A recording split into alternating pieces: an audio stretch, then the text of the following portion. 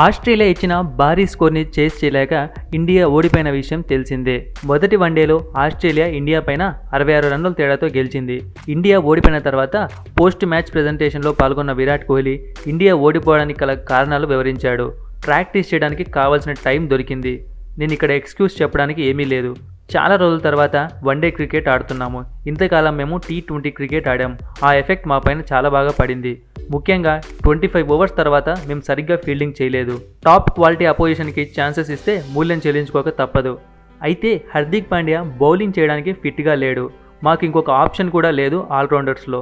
అయితే ఆస్ట్రేలియా వైపు అలా కాదు. స్టోనీస్ మ్యాక్స్వెల్ ఇలా ఎవరో ఒకరు ఉన్నారు ఇంకా బ్యాటింగ్ గురించి మాట్లాడితే మా బ్యాట్స్మెన్స్ చాలా బాగా పర్ఫామ్ చేశారు. అది మనం కూడా చూసాం మా బ్యాటింగ్ ఎంత బాగుందో చెప్పడానికి హార్దిక్ ఇన్నింగ్సే ఒక ఎగ్జాంపుల్.